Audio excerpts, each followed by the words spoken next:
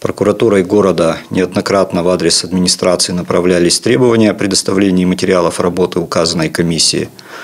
Но эти материалы по требованию прокурора без каких-либо объективных причин представлены не были. И в отношении должностных лиц администрации городского округа прокурором было возбуждено два дела об административных правонарушениях в связи с невыполнением законных требований прокурора